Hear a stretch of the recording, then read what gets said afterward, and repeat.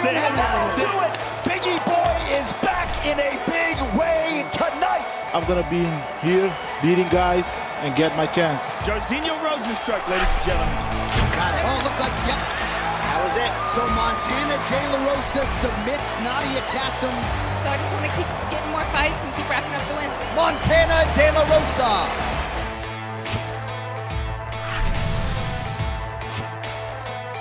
Welcome to UFC Unfiltered. Please tell me that's on video. I've never been happier. I'm made for a fucking podcast. That's dangerous. Listen to me, we're at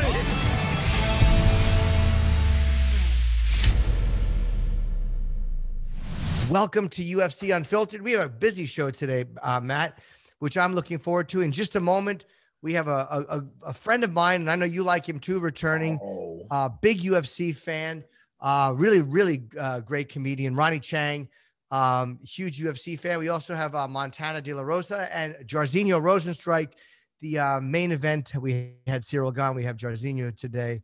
It's a jam-packed, Um, this jam-packed show. I like it when you say that. You're right. Should we bring in Ronny Chieng? He is, I believe, here. I can't wait Um, to talk is- to Ronny. Yeah, and he doesn't need this. He's Ronny has got a great career uh, with the Daily Show. He just loves UFC. There he is. Hey guys. Hey, what's up, Ronny? How you doing? Matt was just saying when you were connecting that you look younger than last time. yeah. What Um is that? What do you use Noxzema? What's all, what do you do? What do you do to do all the de aging? Yeah. Is it the Wing Chun? I mean I would say jujitsu, but Oh, you you you've been doing jujitsu your whole life and you look like that. So Well- I don't know. uh, man, talk about turning a, a compliment and just taking his sword out at me. And you know what's funny? Just yesterday, Ronny, I was rolling. Look at my right. Look at my right eye. what I happened? look like fucking. Uh, you know, they call it the gentle art, but Jimmy, Oh. some people don't get the memo about being it, being the gentle art. You know, I was doing some round robin, um, passing the guard, and my one of my brown belts, Pat DeFranco, he used to fight in the cage. You know, he's an MMA fighter, so you know, he wanted to soften me up a little bit, and somehow I got a right hand. Well, you okay? It happens. Yeah, I'll survive. I think I look cool, Matt, you gotta defend yourself at all times, man. Ronny. The last time that what I have a fond memory uptown in Manhattan, outside the uh, stand up New York, me and you connected, Yes, sir. doing our Tai Yes, sir. Chi. Not Tai Chi, Wing Chun. Yo, that video gave that vid that video gave me a lot of street cred with the with the MMA fans back in Australia, man. They were Did like, it? I, I cannot believe you touched Matt Serra. Yeah. Well, with my permission. They were like, yeah, you got you got huge following. Hey, have you been have you been to Australia, by the way?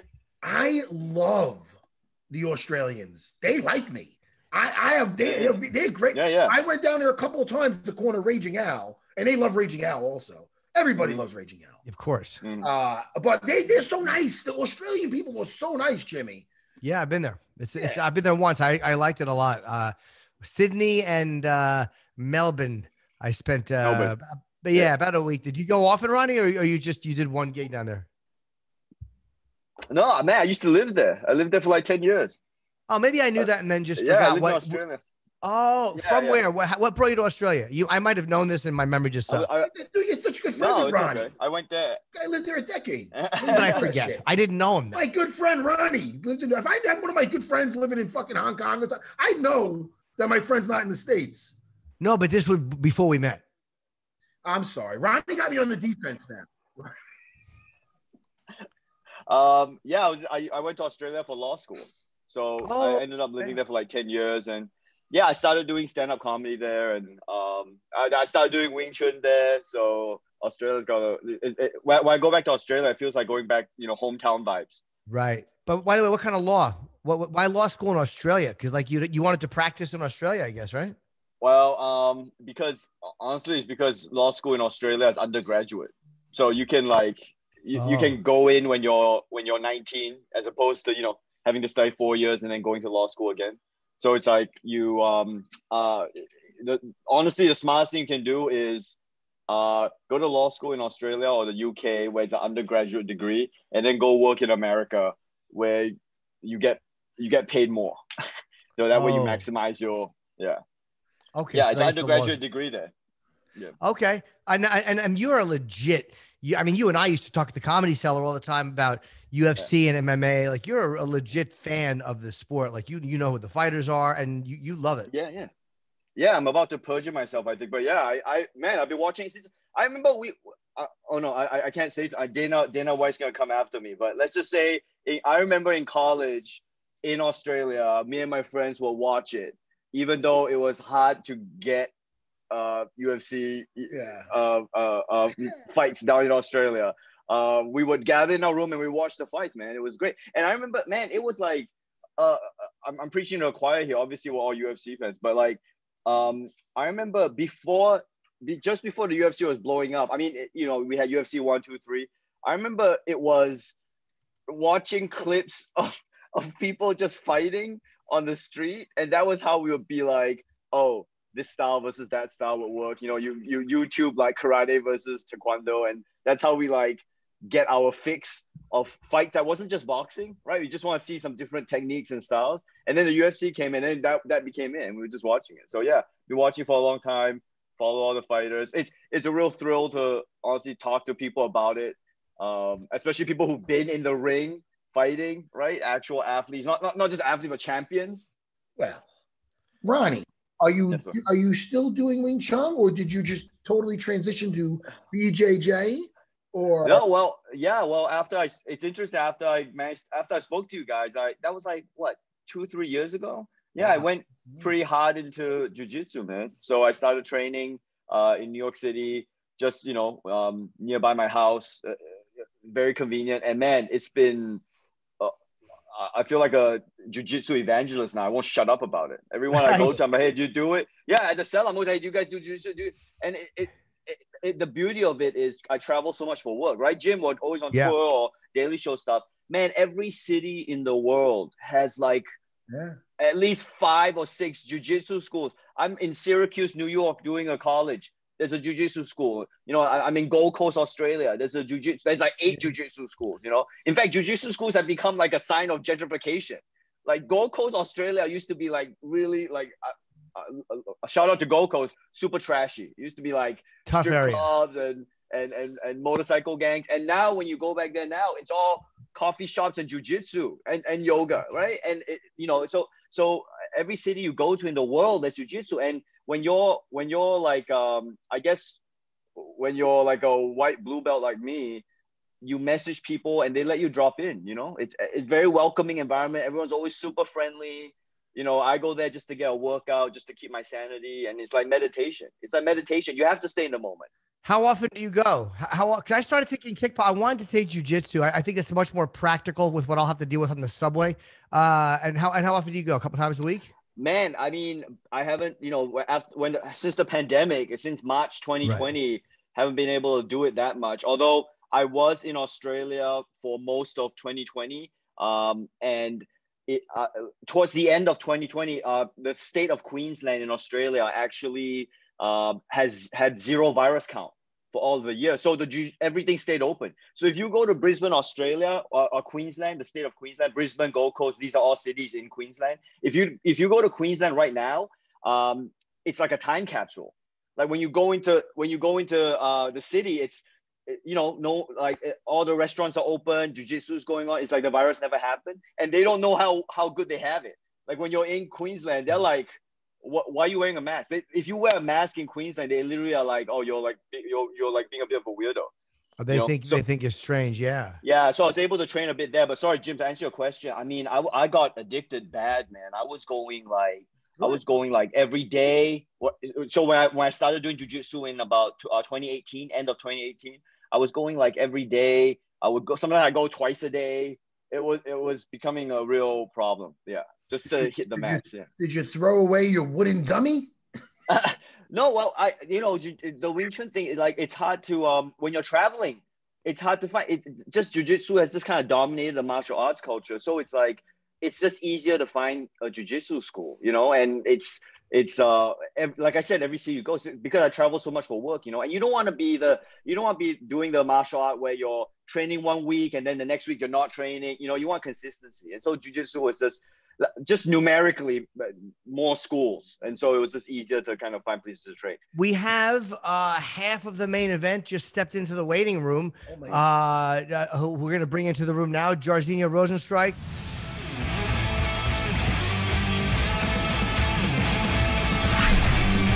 Jairzinho, how are you? How are you doing, sir? Good, I'm good. How are you guys? Good to see you. Awesome. We were uh, we were talking. Matt and I and Ronnie were talking right before you came in about what how impressive it was. Uh, you know, you were 11 and 0. You had a tough fight against Francis, and then how well you looked against Junior. Like, h- how was it for you to adjust to that first loss? Because you seemed to take it okay, and it- really hurts a lot of guys, and it didn't seem to hurt your momentum at all. I mean, it hurts. Um, it affects me in a lot of ways, but if I, I can I can make two choices: sit back and and think a lot about it, or go back to the gym and work even harder than before and come back.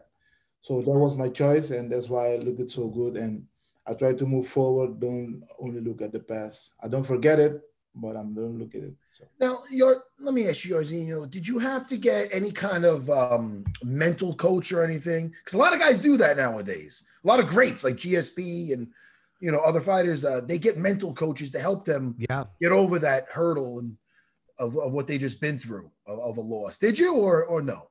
No, I didn't. But um, most of the time, you look at your fights or you analyze your fight like, okay, maybe maybe he wanted it more than me that night. So then you're gonna look you're gonna look back like how was my camp? How was this? How was that? How was everything going through the fight? So am I making making a couple of mistakes during during my preparation, uh, going through the fight?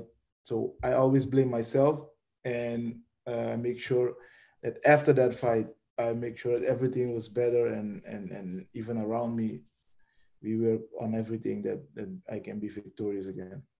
Jairzinho, speaking of your, uh, sorry guys, you don't mind if I ask him? Not at question? all. No, no. Go ahead, brother. Yeah, Jo- Jairzinho, um, like, um, when you're when you're you're talking about your fight preparation and the people you have around you, um, obviously, you know, when you start out in anything, especially fighting professionally, you kind of have no team, right? You're kind of on your own. You're going for classes. Like, how hard is it to build the net the the team of people around you? Like, do you do you do you, um where do you get the recommendations for these people? Like, uh, in terms of like, do you have the network? to find them? Do you put a call out? Do you interview them? Like, or do you go by word of mouth? Like, how hard is it to build the team that prepares you for the for the fights? Okay, for me at this point, it it, it goes like um, automatically. I have my coach Michael Babb. He recognized me from since I was uh, on on the age of 17, and he kind of um, give it a steering. Uh, I've been striking with him for years, and now we're in the UFC. We we went to Hard Knocks to find our place there to make it our home, but there wasn't it wasn't the case. We now we are at American Top Team. We see all those high level high level wrestlers and striking coaches. They are there, and that's the way we we we we building up because it's feel good also, and and it have to be be how how, can I say this? Uh, it has it it has to feel good and on the level that I am, it has to be above me, and that is the case in American Top Team.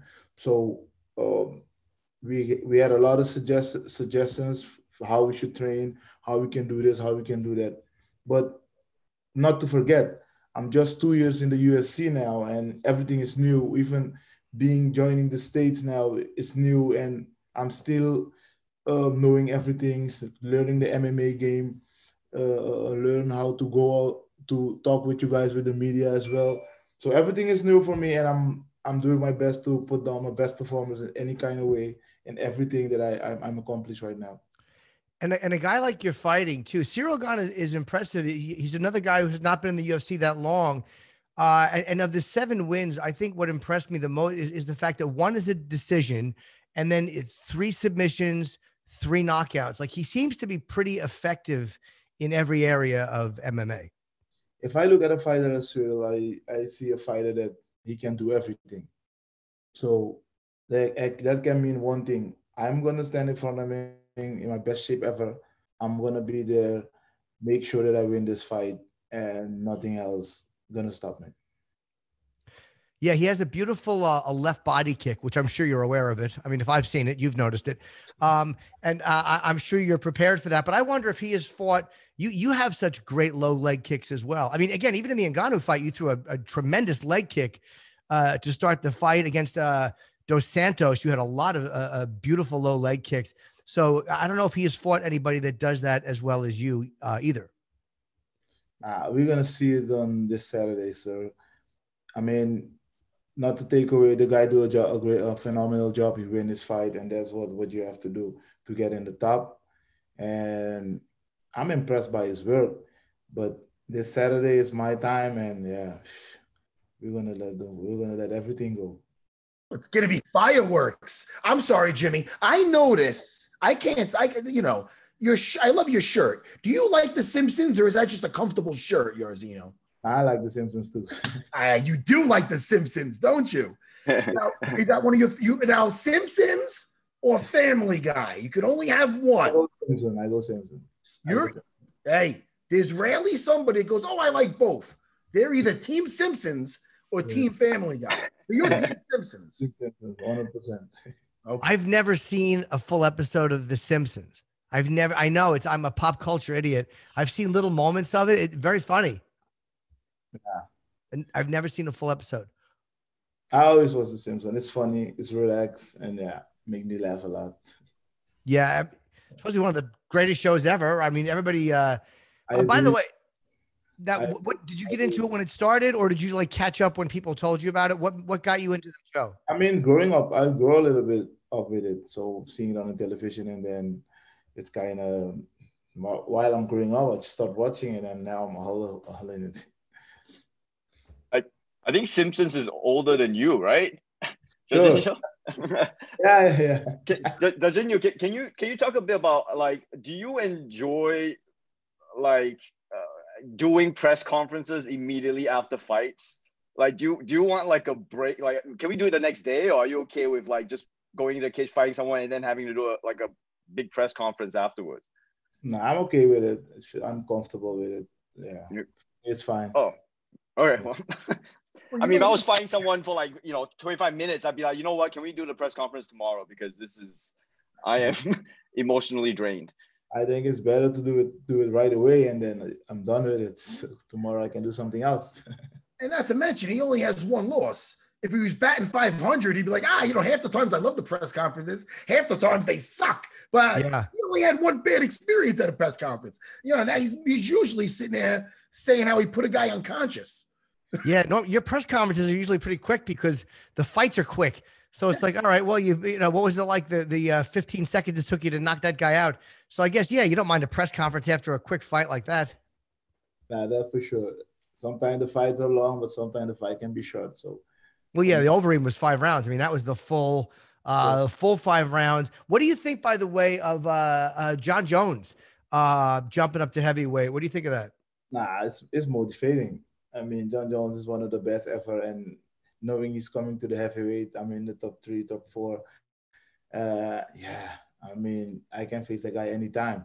So the only thing I know is train hard, make sure you're ready. When that fight come, you want to win that fight. Let me, I'm sorry, Jimmy. I just No, want no. to get your thoughts. If you've watched uh, this over this this past weekend, uh, the, uh, Derek Lewis versus Curtis Blaydes. Your thoughts on that fight? One, one, one more time. Curtis Blaydes versus uh, Derek Lewis, the Black Beast. Did you watch? Did you I watch? did- yes, I did. I did. I did. What, what is your thoughts on that? No, I think Derek had a great timing, and he was waiting. He was waiting for that punch. Like as he, as he said, he was waiting for that number one punch, and Blade shoot right into it. And we know Blaydes gonna shoot, so I think ah, it's a bad timing for Blaydes, but a good timing for Lewis. Yeah, and he said he couldn't get started till we. Well, uh, you know, he's so honest, Derek Lewis, and, and he said that he just couldn't even in even in um, warm ups, he just couldn't get his energy going. He felt like he just couldn't get it moving. So I guess he really was just waiting to, to for his energy, so he didn't waste his energy. I'm guessing. I mean, sometimes you have to know when where, where how to place your energy in the fight. But sometimes opportunities are there, but you're too tired to take it. So you have to know how you spread your energies and during the 25 minutes. Have you had that? Have you been in the cage and went like, oh, I just don't have a lot of energy tonight, or I didn't time something out right, and I'm way more tired than I should be? I think everyone has that in a fight because some fighters, every fighters are different. So sometimes you train this and you get him there, but you can't finish the fight. And then he moved that way, and then is it like in the Overeem fight? I was frustrated in the fight. He was doing this, and I'm like, okay, I'm gonna catch him with that. And then he was gone, and I was like, he was doing this, and, and then he was gone. So frustrating and conditioning and working at the same time. But in the end, I still got him. So I mean, yeah, everybody has a fight. Jairzinho, I was asking earlier about building your team, and I guess where I was coming from wasn't so much the the MMA team you have around you, but the kind of additional support people. Like, I don't know, are you getting like dietitians? Are you getting like social media managers? Are you getting um, agents and managers and business managers because I'm also new to America. I've only been here for like five or six years. And one thing I noticed is that when you start um, performing in America, whether it's martial arts or it's entertainment, suddenly there's a bunch of middlemen who start coming in. I don't know if you've experienced that and how you deal with it. Do you do you do you like vet the people with your friends or I mean can you talk about a bit about building your team in America? That's not the you know necessarily the the people to tell you how to punch and and and and choke someone out. Yeah, the non-fight people. I think it's really necessary. I have a social media manager. Uh, I have a mentor. I have a, a, nutritionist, and all those things. Yeah, I mean, and it keeps coming. It keeps coming. The people, yeah, and I have a whole team about about wrestling, jiu-jitsu, striking, and boxing. I mean, it's a whole team, but we have it all there in American top team, so it makes it a little bit easier. Uh, you know, and the championship rematch between Ngannou and, and Miocic, uh, the first fight between those guys was really interesting to, to watch Stipe, who had so much more experience, kind of know what to do to neutralize Francis's punching power. Uh, how do you see a second fight between them going? Um, you know, with again, Stipe has already done that. Do you think he'll be able to do that again, or how do you see that going? Nah, I don't know. I mean, Francis is a younger guy, also strong, big. Um, not to forget and to mention um, Stipe's experience.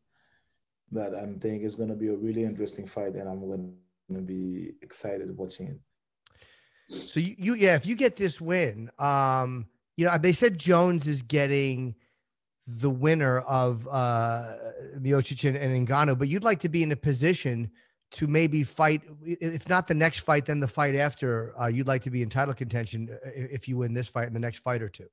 For sure. I mean, after this fight, I'm, I'm looking for a quick turnaround. I want to fight at least one more, and yeah, get myself in the wash machine a little bit because it, it was a, it's a long time that I didn't fight. For me, it's long, six seven months. And now I'm going to fight again. So I'm going to look for a quick turnaround, even June or May. And when the title fights come, I will be ready and in shape for it. You know, I mean, uh, as a fan of of the fighting, I I would not object to again. It's that you have to get through Ciryl Gane first, obviously. I mean, but if you win this weekend, uh, you against Derek Lewis, I I, I think uh, there's nobody that wouldn't enjoy that fight. Nah, I mean, Derek Lewis is a big, strong guy, of course. I don't. Ah, I don't know. We're gonna see it. I yeah, I mean that's that's it's an interesting fight. It is an interesting fight, but yeah, yeah, really interesting. All right, yours. You know, let me ask you something. Enough of this MMA shit for one second. let me ask you, for the fans at home that like to get to know you, one thing, a hobby, maybe a book you're reading, a Netflix series, maybe you like the bowl. What? Give me one thing unrelated to MMA you like to do. Besides The Simpsons, besides watching The Simpsons. Video game. Video games. yeah. Video. I play a lot of video games. I tell you. You play UFC four. Of course, I play UFC four. I play UFC four. I play FIFA, Mortal Kombat, Call of Duty. They are the most game I play every day, like almost every day. Can, can I? Oh no, you guys, go ahead, Ronny. What was it? Oh no, I was gonna say, oh man, your your Mortal Kombat over Street Fighter, oh, man, that's listen. No, I go for Mortal Kombat. I listen. What are you guys gonna bring up next? Donkey Kong. Let me spread the light here. This is what I want to bring up to bring the light. The Oculus Quest 2. Listen, Jairzinho, this this thing is great. You ever play virtual reality? virtual reality. No. Oh my goodness. You go right to Best Buy. Send one of your send one of your uh, your your guys over there to Best Buy. Get the Oculus Quest 2, and you put the headset on, and you're in a Oh, world. Forget yeah, about yeah. PlayStation. You're in a world, and you're murking fools. I love that thing. Yeah. He got me to get one. I got one because of Matt. And I don't do the combat fight because I'm not good at it. I get dizzy. So I just stand there and I do I do boxing like a middle-aged lady, but I do enjoy it a lot. Uh, that's nice. I heard of it, but I never got it yet. But I'm gonna look for it. Thanks for the. Well, do you get motion sick? I, I get motion sick, so it got me a, a little bit queasy. You stop turning him off with the. I have to ask him. I don't want him getting pissed off at me. He buys it, he gets sick. All of a sudden, I get punched in the head. He's getting I don't get motion sick. I just nah. Oh, okay. warrior. You'll, you'll love it. Jairzinho, is it's, it's for those of us who um, our lives aren't as good as virtual reality. If your life is doing well, which you are, because you're you're on a hot roll right now, you don't need virtual reality, man. Reality is good enough for you. Well, we agree to disagree, but it's okay. All right, Jimmy. Well, look, good luck. Uh, you know, we we uh, love watching you fight, and I was really happy for you against uh, Junior. I thought that was a really really good fight. Um, and uh, you know, you, you got the uh, you know the the the L is out of the way now, and you and you got a very tough uh, guy ahead of you, and there's something, and so does he. Uh, he's got to deal with you. So uh, we'll talk to you on the other side of it, man. Have a great fight on Saturday, and um, either, either way, we're looking forward to talking to you again. Yeah, great comeback win. Thank you, thank you, and yeah, for sure this Saturday is gonna be fireworks. Ahmed, Yes, I can't wait to watch it. I can't wait. all right, we talk Where, after. where, can you wear Simpsons to your next weigh-in? By the way, One more time. wear the Simpsons shirt or wear something Simpsons to the next weigh-in. Maybe you'll get some sponsorship. Because you don't allow it. But they won't let you do it. Oh, Reebok. anyway, do it anyway. Yeah. Maybe they'll put Yeah. him in the future. I future. want to get myself in trouble. All right, buddy. Simpsons. Good talking to you. Take care. We'll talk to you soon. All right. You Have a great day. Be Bye. good. Bye.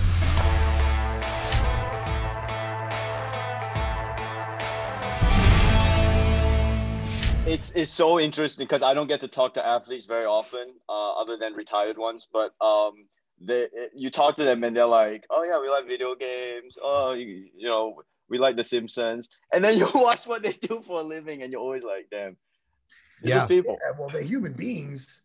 What do you think? What do you think they're doing in the uh, when they're not on there? They just got a raw bone like a dog. That ah, with a, a spike collar on. Fuck you, just. I know. No, man.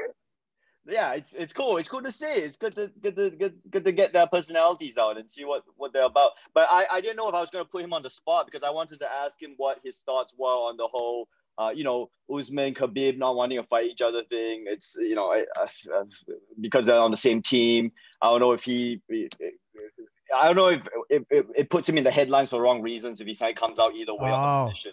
You know? Did have Us- You know. Usman and Habib been talked about? I mean, that's a tough fight for Habib. I know, I know that he's so uh dangerous, but I mean, to go up and wait, Isn't he retired? I, I don't know. Yeah, I'd rather see him fight. There's a lot of people I'd rather see him fight. Uh, Oliveira. I'd much rather see him fight Oliveira than Usman. Well, well, I mean, if his thing again, I don't obviously I don't know any of the people involved personally, but if publicly Khabib is saying that he needs a challenge, right? He's not saying that he, he his his whole thing is I want to fight someone worthy of fighting, right? He's at the point now where he feels his legacy is cemented. He's the champ. Literally, he is the champ right now. So if he wants to challenge, I feel like it would be a weight class shift, right?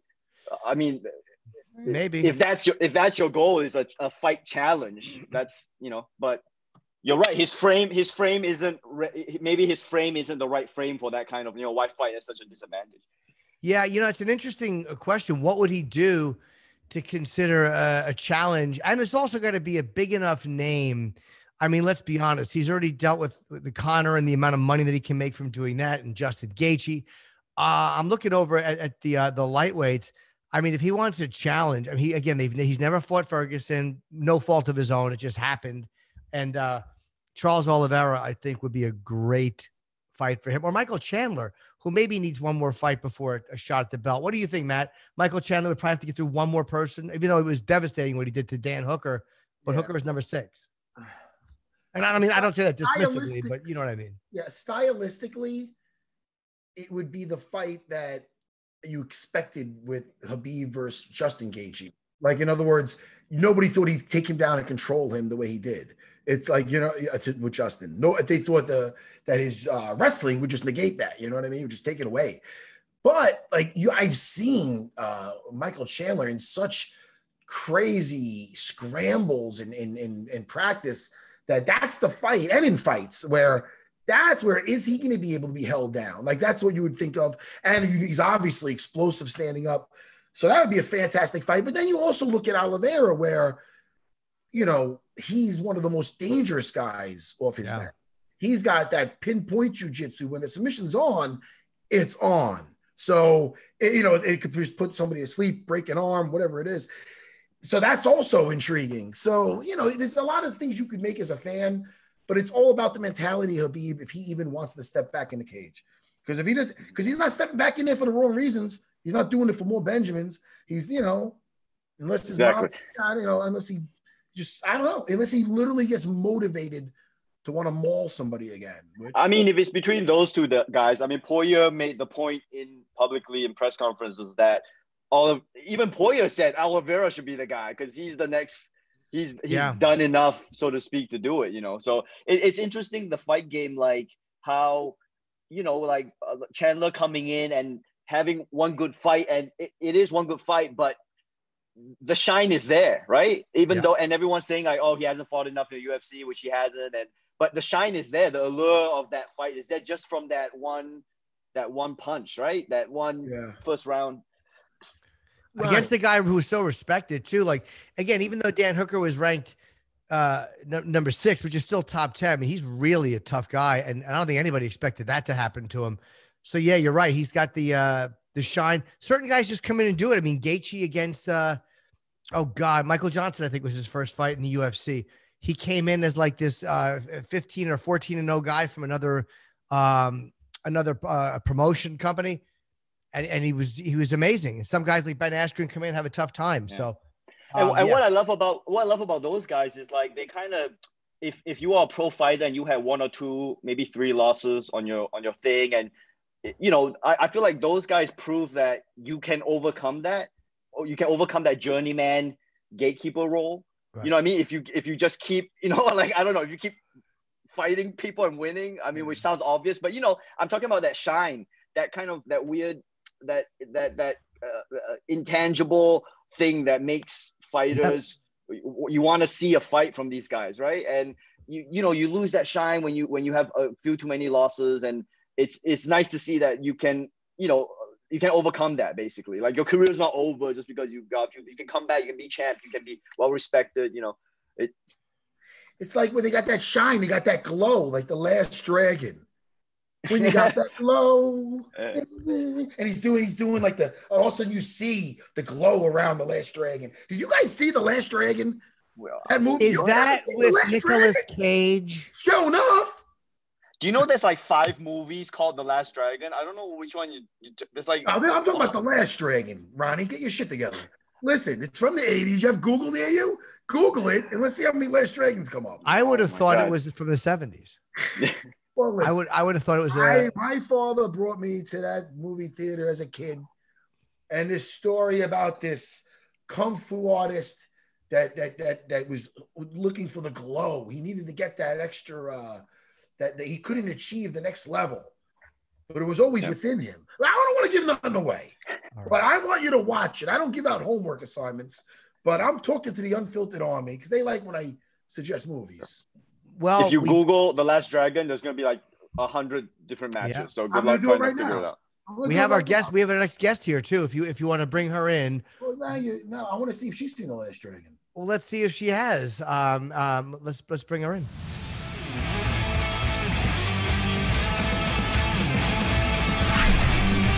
Hello, Montana. How are you? Hi, I'm good. How are you? Very well. And I guess sorry, you're Timmy, uh, just for the record, I don't oh, want to. Yes. How are you, by the way? Nice to meet you, my man. I'm great. nice to meet you. Ronny, our friend Ronny. But yeah. I just, did you ever see the movie The Last Dragon? Not to start this off weird. Uh, no. Okay. All right. Well, listen, you're, you're very young. I'm but just so I, just Ronny, just so you know, I Googled it and it's all over that shit. Excuse me, my, my language. Look at that. The Last Dragon, what okay. I talked about, Ronny. So I don't okay, want to. Okay, Matt. Thank you. Thank you for teaching me about. Thank you for teaching me about your 1980s pop culture. It's very relevant right now. We're gonna learn. All right, let's start the interview right now, okay? Yeah. Hey, Montana, welcome to the show. Thank you for having me. How are you? I'm doing great. How are you guys? Good. I'm really good because I've never seen The Last Dragon. Oh shit, we're right back to that. I apologize. so now, right, right now, are you uh, are you in quarantine right now, or is that over for you? Um, pretty much the whole time we're here, we're in quarantine. I think we're not even allowed to go like eat or anything. Um, uh, burst yeah, bubble. Yeah, it's the bubble. The bubble can't get burst. Right. Oh, you're okay. So now, have you been over to uh, Fight Island? I have not. No. Okay, because yeah, I, I imagine over there it's it's kind of the same thing. Um, Matt, you would know the difference. Uh, More is the- quarantining. So listen, uh, you know, but it's good. Listen, you're not in Vegas to party. You know that. You're there for handling business. It might be a good thing. that yeah, got- I'm used to it. I usually don't go do much besides maybe go to dinner, but that's about it. So it's normal. that is normal. I got business to take care of. so- yeah. Well, uh, You do have you? I mean, does it help you to get away? Sorry, I'm sorry, Roddy. Does it help you to go out and and like do something to clear your head a little bit, or how do you keep yourself ready before a fight? Does it help to distract, or do you like to think about it? Um, a little of both. I think my coaches help me to distract, kind of get me laughing and just get my mind off of the actual fight. And then when it's time to dial in, which is just a short period of time, they're able to help me refocus. So just kind of reading books and just focusing on myself, meditating, all that. Oh, okay. Yeah. No, Oh, what you kind do of have the do you have I'm the sorry, do you have the Ron. mat set up? Oh, I'm sorry, Matt. I don't know. I was just asking if she's reading like books on like serial killers or no. People get into. hey, I remember Frank Shamrock used to do that back in the day. Read serial killer books to get ready for a fight. What books? That's fucking weird. I guess to get into that mentality. Are you reading books to escape? Are they like? Uh, no, I'm right now I'm reading The Champion's Mind. So that's pretty good. Yeah, just stuff like that. Oh, that's some Tony Robbins stuff. I like that. Yeah, yeah. It's good. Mind. You have the mat set up in your hotel room to train and Uh, yeah. So we get a hotel room like right next door that has the mat and all that. So we've been over there a couple times already. Oh, you get two rooms, one just to kind of live in, and then one to go and. uh Yeah, exactly. Do you do you have? I'm fascinated by these things. Do you have the portable in room Sauna. little sauna? Do you have one of those? Oh yeah, yeah. Oh. That's much needed. How do you clean them after? Because I heard DC talking. Cormier was talking about borrowing someone's, and I'm like, who would loan somebody their their little sweat box? Like, who would want to loan a person that? How do you clean that? Um, you take you actually take it off like there's this cover around it and you throw it in the wash. But I mean the UFC does all that here. That It's actually their sauna. So I have one back home too. You do, and it does it actually work. Is it really effective? It does Oh actually. help? yeah. Yeah, it's really effective and it takes up a little bit of space. It's perfect for what for what you need it for to sweat. Man, we're not there to clean saunas. You're there to kick ass. Montana, let me ask you, where did you grow up and what discipline did you start with? Uh, so I grew up in a small town called Azle, Texas. Um, I was born in Helena, Montana, but I started with wrestling. Well, I did a bunch of different sports when I was younger. My dad was always throwing me into different sports. Um, and then I got into wrestling in high school. And then I was going to go wrestle in college, but I had a daughter when I was 15 years old and I wasn't able to like leave and yeah, I just I didn't want to leave my family and everything. So I stayed there and found an MMA gym and started training and just got right into professionally fighting. Wow, 15 is very so i- is, that something like you hear but you certain times people have uh kids really young and then as, as their kid grows up it's like you kind of become a friend too. It's like it actually I've I've heard that always like is a pretty good parent uh child relationship when you're kind of close like that. Exactly. She's already like my best friend. She's much older than her years. Um, she's so smart. I mean, she's a wrestler too. So we're kind of always just training and going to different practices. And she, yeah, she's definitely my best friend. Wow. How old is she now? She's just turned 10. Oh, okay. And now does she want to pursue fighting because you do it and would you encourage her to do it? Uh, I don't think she wants to, and I don't think I'd want her to either. It's a hard life for sure. Uh, she wants to go to the Olympics for wrestling, so I think she can do that. Oh, really? Yeah. That way she don't got to get punched, Jimmy. Yeah. As a parent, that's you know, I'm, I'm sure that's what you're thinking of Montana. Yeah, exactly. It's just it's just rough. I mean, you know, the whole lifestyle. Yeah. Yeah. Oh, Montana, I've been lucky to kind of train jujitsu in in Texas and Dallas and Houston and um uh, dro- just dropping into schools when I'm traveling for work. And I feel like, and, uh, correct me if I'm wrong, I just feel like there's some uh, uh, affinity that Texans have with jujitsu. I don't know, something it like speaks to a lot of people there. When I, when, like it's it's really funny as someone who you know, look, I mean, jujitsu's. Uh, I should let you answer before I keep talking. But I mean, do you feel that there is affinity there, uh, you know, with Texans and just that that that grappling specifically jujitsu art? Oh yeah, grappling, like wrestling and jujitsu, they just love it there. Um, my gym is really good at making everyone feel like wel- welcoming. Like I feel like a lot of the other gyms, like up north and stuff, they're not as welcoming. They they don't want you to come in and and train with them. But like my gym back home, like we would let anybody come for free and just just roll with us for open mat or whatever. Well, Right, obviously, right. I don't- Obviously, you never visited Serra BJJ in Huntington, Long Island. no, I haven't. Oh. Is that an invitation? That's an invitation because we're very welcoming.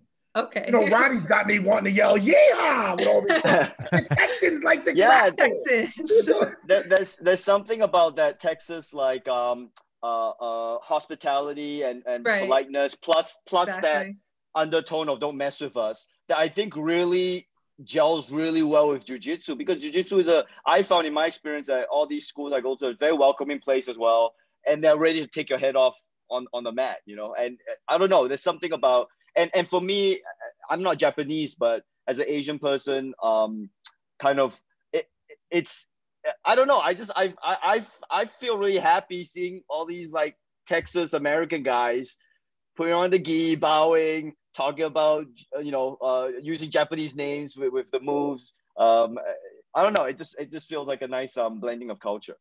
Yeah, that's awesome. You hit it right on the button.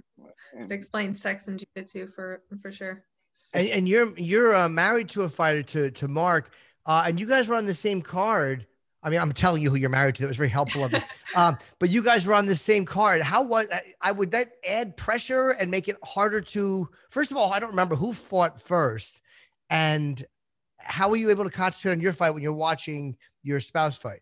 Yeah, so usually we're in each other's corners, but for that one, I was like, he fought first. So I was like, I kind of got to stay back and just get my mind right so I can go out and perform because it's really stressful. Like even watching your your spouse fight, like you get so much nerves, and I think I would have been a nervous wreck if I was actually there by the cage. so I was able to stay in the hotel and just relax, and then head up there and kind of get my mind refocused uh, for my fight. Now, did you? So did you guys had probably wanted to do it at least once just to do it? Um, once you did it, were you like, "Oof, I, I didn't enjoy that," or was it better than you thought it would be? Um, it wasn't too bad, and I I would probably do it again. I don't know if he would or not. Um, we've actually fought on the same card before for our pro debuts together, so we were kind of used to it. It wasn't anything too new.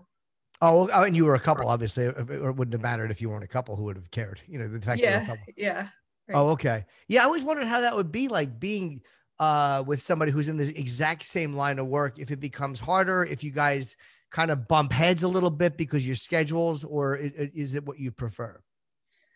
Um, we kind of do everything together, yeah. Uh, but that's kind of why I went to Colorado for this camp is just to kind of get out of my comfort zone and be able to train under um, some new coaches and just just get my mind right. How'd that uh, do for your cardio training in Colorado? I think it did very well.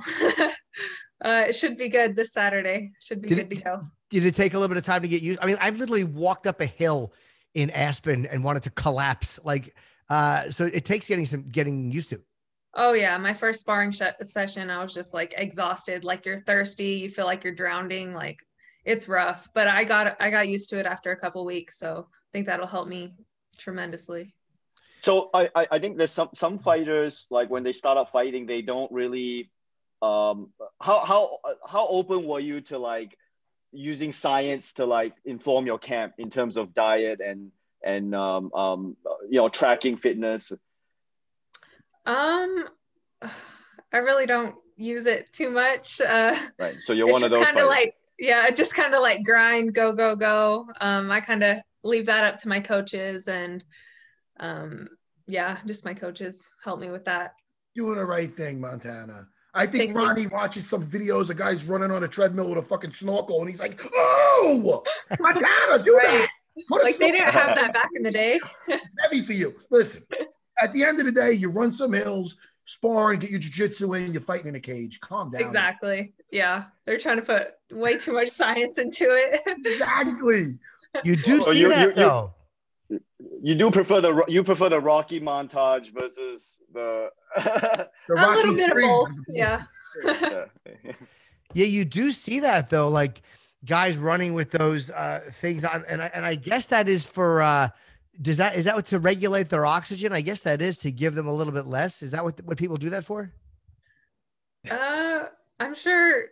I'm sure Ronny would know more about that. The masks. They're trying to take in less oxygen as they're they're, Yeah. they're you know exerting a lot of energy and whatever. I'm a bad breather, so I look at that and I get uncomfortable. Like I have very bad. Not that you needed to know this. We're promoting your fight, but I just wanted to segue into a, a moment about my sinuses, and they're very bad. So whenever I see that, I really uh, I get panic stricken when if I can see those things. Montana, it's it's for it's for people like me who can't fight, and I look and I, I just keep trying to look for scientific solutions to try to make myself better. Just to find advantages. Yeah, to find advantages. Yeah. Now, Montana, uh, you said you were reading that book. What are you and your husband? You guys watching anything like a series? I just got I'm, I just got done with the first season of. It took me a little bit. I had to dive back in. It was like a fight, and then I really got into it. I got done with the first season of Peaky Blinders, and I'm like, oh, that's exactly what I'm watching. it. No, I can. Yes, I, it's so Yeah. good. Now I'm in. I'm in. It now. is. It's really good. You guys There's a lot, but It's it's good, good. yeah, it, it keeps getting better. It's good. Oh, what oh, what season are you on? If you don't mind me asking. We finished it. We're waiting for the next season. How many seasons? Oh, it's still going. How many seasons are there? There- There's a lot. I think there's like six, maybe. Um, I started my journey. I got past the. It took me a little bit. I don't know. It's if hard to get into at first. Yeah. It took me a little bit to get into it. Yeah. Now, exactly. now I'm all in. Oh, I'm- for sure. I'm digging it. I like that. I like that Matt said, if you don't mind me asking, that's fun. Like it would be funny if you said, "What season are you on?" And you went, "Whoa, that's a little private." I would rather. it's none of your business. yeah, hey, whoa, easy, buddy. Montana, have you been have you been to England? No, I want to go. We have we know some people that live up there. Um, I would love to make make the journey up there one day. Cool. Peaky Blinders would be your intro to. That's what London's like, by the way. I've been Is there. it really? times.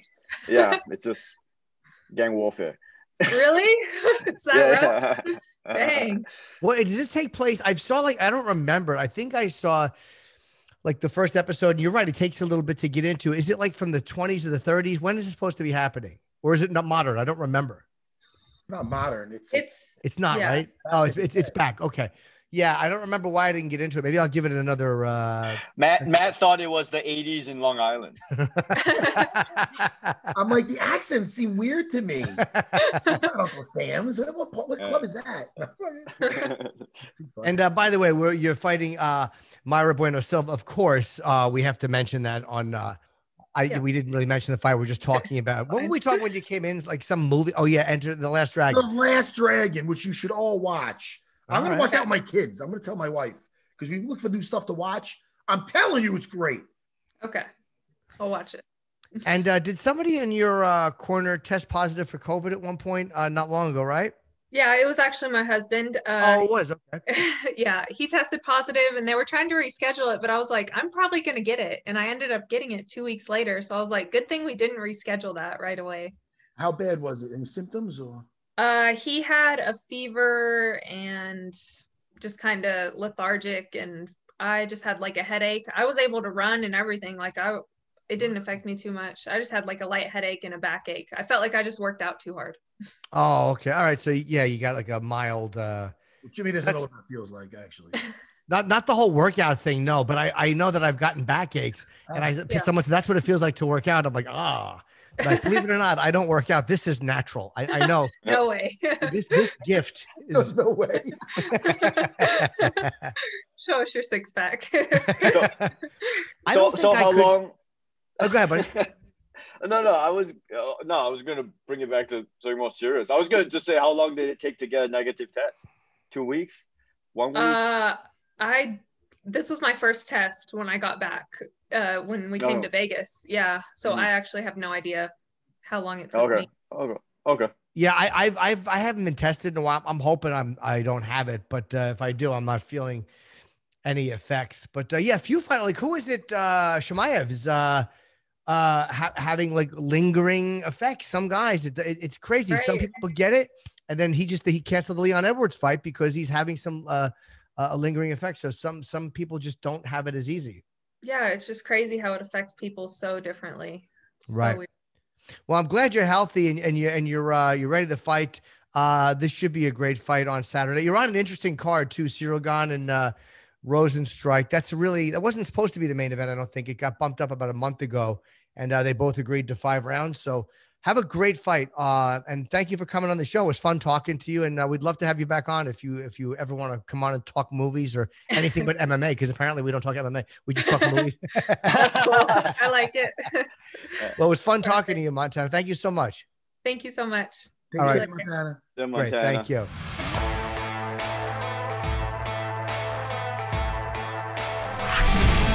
Peaky blinders, motherfuckers. Yeah. I'm digging it. I'm in. I'm fucking in. You know what I mean? I'm digging it. I'm enjoying that show. Do, do you- you like do you like England as much as you like Peaky Blinders? No, I don't. I'm not even. Well, I'll I'll tell you where they were great to me. It's it was uh, in Manchester.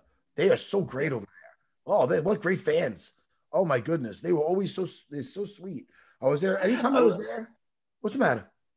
No, I'm just laughing because the places who love you are like like a little rough. They're a little rough. The places that you're like shouting out are like rough places. That's just funny. Like, yeah, I went to, you know, I went to Iraq. It was super nice to me. Like, it, it, it, it- it- like, Well, I'm talking about the Australian fans are Yeah. fucking sweethearts. I like that. okay, they're sweethearts to you. They're a little. Uh, those guys are a little rough. Is what I'm trying to say. Well, Ronny, I'm thinking maybe your your little uh, silver tongue there got yourself in some trouble. I think maybe you were sweet talking somebody at the bar or something, and these Aussies were like, "Listen, Mister Stand-up comedian, get the fuck out of here."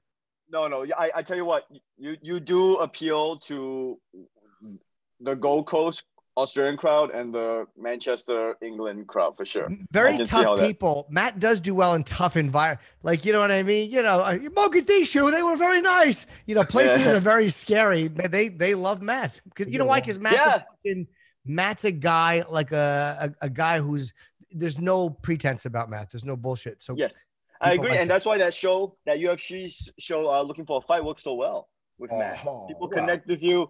People connect with you real well because yeah, you're you're the guy who people can feel your sincerity, and they also can feel your good intentions. Now So making, now you're making me blush, but only you could feel my sticky. hands. Yeah, buddy. Little wing Yeah, chun action. Let me ask you, Ronny. We talked about it a little bit before. Your first day trying a jujitsu class, because I did not talk to you before you really tried it. You did. You no, were, no, We played around with the wing chun and this and that. yeah. Uh, your first day on the mat, did you fall in love with it instantly, or was it like, yo, this is so weird, and there's a guy on top of me? And tell me. No, I fell in love with it. I, I fell in love with the, uh, uh, you know, the pursuit of perfection in technique and knowing that you're never going to get there. I fell in love with the competition. I fell in love with the working out, the endorphins, the, you know, I think, and I really want, uh, you know, uh, I'm, I, there's no one who will talk jujitsu with me. I'm, I'm like a crazy, my wife is like, shut up about jujitsu. No one, I, that's why I'm so, I, that's why I love talking to you guys about it. You know, I talk to, uh, I talk the ears out of every comic. They'll, everyone's like, shut up about jujitsu, Ron. You're sounding like a goddamn cult member. Uh, and I'm uh, big because I, I think if if nothing else, like put aside the effectiveness talk of martial arts or whatever, the fact that you can go so hard in sparring in jujitsu and be relatively under control and not, you know, have to get knocked out during sparring, I think it really uh, al- allows you to work out a lot of your emotions and also lets you train technique, you know, uncooperative training at a very high level. I think is really what made jiu-jitsu spread so much in America. The uncooperative sparring is really, you Yeah. know, what it, it, it's one of the few arts where you, you're allowed to do that. How soon into your training? Because I don't let guys roll live and, unless they have a wrestling background and I could kind of let them know their objectives. I, I don't let them like even let them start from their knees yet because there's going to be a lot of areas they don't know what they're doing. So when I have a, like when a guy starts out two weeks, I don't let them roll live. After that, I let them start from specific positions. All right, today we're escaping them out. One person is keeping them out, looking to finish, keeping them in. The other person is just escaping. And then they have a clear cut goal what to do. Just like passing the guard, I was doing with my my beginners the other day. All right, your objective on top is to get past these legs, secure a dominant position, side control. Now, You know what I mean? Yeah. So, Yeah. and then the person on the bottom not letting them. So it gives them clear cut goals of what they should be achieving. So then when they actually go from the knees or the feet, they're used to all the different positions. Okay, he's cross-side. Oh, I remember cross-side. Okay, I have, I have this way to get out, that way to get out. You know what I mean? Yeah, yeah. Your first day rolling, did you start from positional training or was it just, did you feel like, yeah, well, well, um, first first day train. Well, uh, that, that's the thing, you know, we're all UFC fans, and so, like, I I knew all this like you know positional stuff yeah, just academically, obviously, no no no actual practical skills. So the Right. idea of like being inside control, being in oh this is an armbar, obviously zero knowledge of actually how to execute, but just the idea of like oh side control if you're under someone in side control is bad. If your your your goal should be positional control, whether it's you know side control or, or, or full mount. So I kind of knew the game a little bit, but not enough to actually do anything. And because I have respect for the game, and uh, so my approach to jiu-jitsu was like, whatever the basics are, I just want to learn the fun- fundamentals. I'm not here to, I'm not here to prove anything. I'm not here to fight on the street. I'm just here to get a workout. You know, what, learn Yeah. learn technique, have fun. And so my approach was very much um, uh, wh- basics. You don't want me to roll? No problem. You want me to do this drill? You want me to do tumble rolls and learn how to fall? No problem. Any, Yeah. you know, start from the ground up. I think when you come from another martial arts, you kind of understand, or you need to work some fundamentals. Um, I think with jujitsu, there is a element of like, um, uh, uh, uh, like uh, when you first start out, you you maybe there's a bit of wanting to wanting to know for yourself that jujitsu works, and so you go pretty hard because you you know you you want to like learn for yourself like hey does this martial art actually work? If if i'm if i'm me Ronny Chieng if i go full strength on this guy who knows technique can he stop me? And so you do that a little bit right? Just to see whether or not Yes. the martial arts but after that you kind of quickly learn the etiquette is yo just learn some technique man. You don't have to go mm-hmm. 100% all the time. Also you don't know what you're doing. You're probably going to hurt someone. So just you know calm down a bit. And that's kind of you know the natural evolution i think of of starting jiu-jitsu for the first time is. And that's also i think why i get it why people don't want their students to roll the first two weeks. Because it's just like comedy jim you, you get psychos coming off the street. You don't know who this guy is you know Right. you're putting them you're, you're, you're getting them in you're putting your other students in compromising positions with essentially unknown stranger psychos you want two weeks to kind of feel them out make sure they're not crazy people make sure they're respectful make sure they know what they're doing and Also, Yeah. guys that who probably think they can fight better than they can, who are going to Yeah. try too hard and wind up getting themselves hurt. G- guy, Yeah. Guys that are just going to come in as aggressive dickheads, and then and then you know somebody's going to strangle them on the floor. Let me ask you something as comedians because I wanted to ask you before, but I didn't want to take away from Montana. She was my first of all, she was great. Montana. Very nice person. She Yeah, I liked her a lot. She had, Yeah, she had a good time with us. yeah. I hope so. we were talking about Montana and her husband Mark, and if they ever, you know, how they felt with competing on the same night. Both you guys, did you ever date a comic? And did you guys ever go on at the same night where she killed or whatever, and then you didn't work out so well for you? Anything like this or no? I have, yeah. I dated one comedian many, many years ago. Um, I, I'm sure we went on the same night a couple of times here and there. I'm, I'm sure we did that.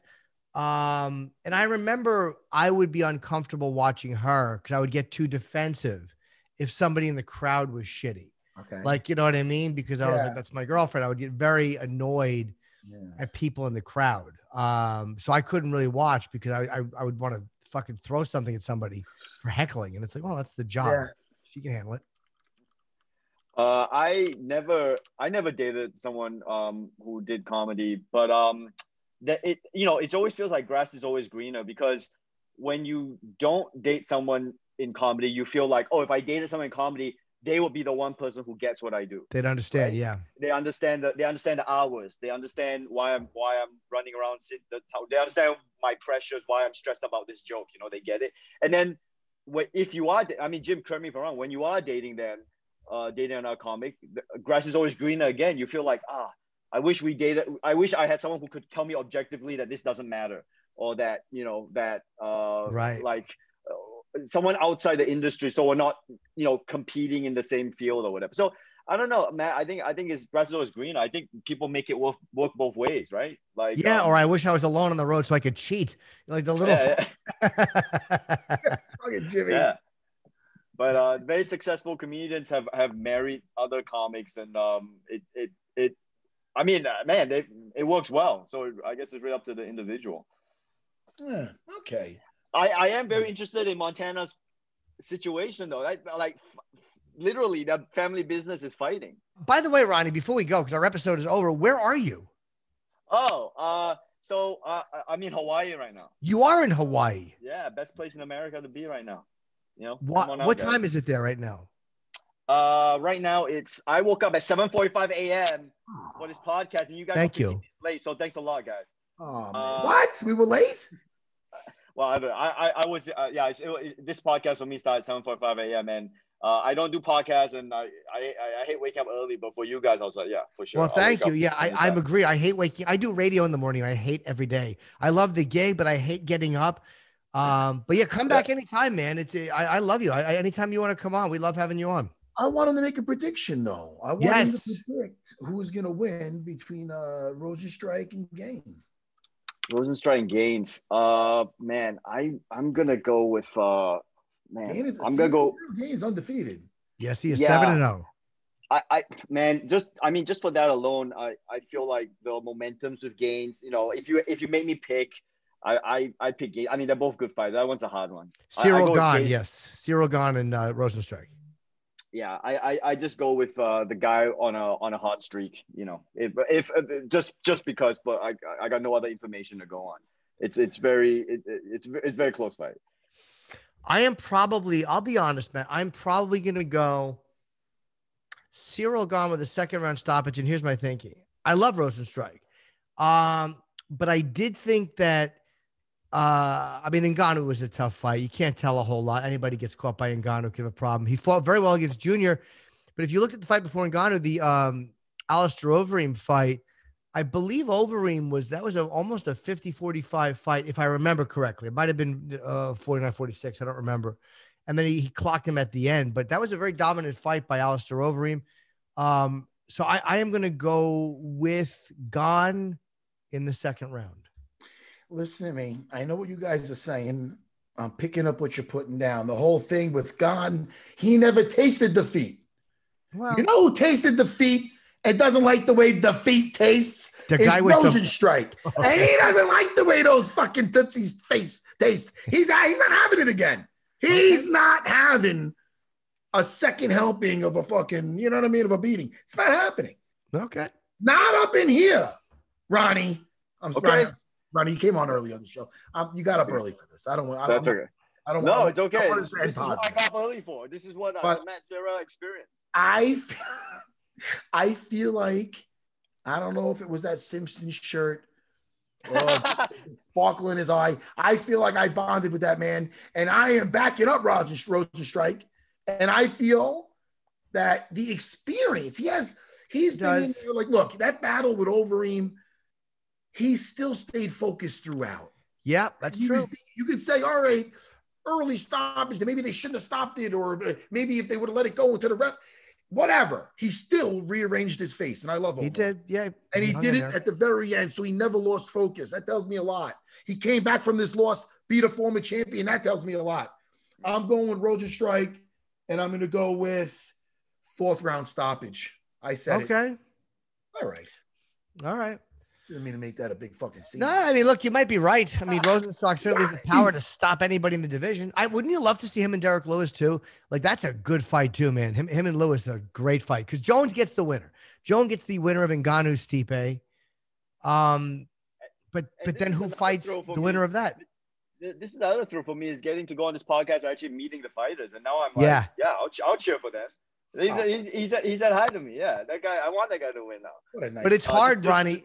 What's hard is when you talk like we had Ciryl Gane on, and he's a really nice guy, and then we have Rozenstruik, and he's a really nice guy. So I, it's like I, I, I'll, I'll, I'll, I'll pick somebody, but as a, it's, it's hard to even like root for anybody because they're both really nice guys. So I'll watch it and Yeah. go like, fuck, I like both of these guys. I just want it to be a good fight. yeah, yeah. Oh, I, I I forgot to give a shout out as well. I mean, how about uh, Andrei Arlovski still in the game? Yeah. That's that. Yeah, it was cool to see him. It was like I don't know. It was like a, a very nostalgic moment to see him on the card. I mean, he didn't have a he did have a result, but it was cool to see it, see him back on. and he was Yeah. doing well lately, and I'd always pick against him. Sure. So this, I think, I think I just fuck. I gave him the old voodoo. you jinxed him. Yeah. You jinxed him a little bit. Yeah. Yeah, yeah. I jinxed But he well, seeing Arlovski fight is like watching Grey's Anatomy now because it's like the, the show's been on for so long. You have this connection to this time of like, oh yeah, I remember in college watching Andre Arlovski. It was crazy. Yeah. Yeah. Just seeing him in the ring. I I- I, it is like that. I prefer George Clooney in Dusk Till Dawn. yeah. I prefer go. him in the Golden Girls. I prefer Oh, yeah. Facts of Life. You want to fucking play the age game? Wait, he was in the Facts of Life? Well, you can look it up, or you can take my word for it. No, I'm gonna He's look up. also in fucking Rotten Tomatoes or the Killer Tomatoes movie. Hold Oh, on yeah, a minute. right. Uh, go ahead, IBM or whatever the fuck you call that thing. Facts. Uh, well, I don't know about you, but I'm a I'm I'm I'm a, a Blair guy from way back, and I'm also a Tootie fan. You're more of a Natalie lover. Hold on Me? one sec. Yeah, hold on, Matt. But Let me- Natalie Slayer, now let's see. wait, is he in this? Ronny, I'm so happy you came on, Ronny. I love your energy. George Burnett. You're correct, Matt. Oh, during season seven and eight. Ah, we don't remember those. seasons. What? Matt, we don't remember. Ah, Tootie was still on the roller skates. All right. Man, All right. Matt, for the amount of punches you've taken to the face and still being able to recall, you know, ch- childhood TV, it's very impressive. Oh, I, I know. I remember a lot of things. Several ways how to strangle people, even smaller. Ronny, I can't wait to see you again.